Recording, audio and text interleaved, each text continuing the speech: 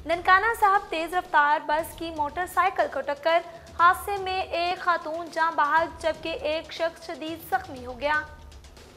तफसीत के मुताबिक ननकाना साहब मोड़ खंडा हेड बिल्लो की रोड नजद वजीरपुर चौकी तेज रफ्तार बस ने मोटरसाइकिल को टक्कर मार दी।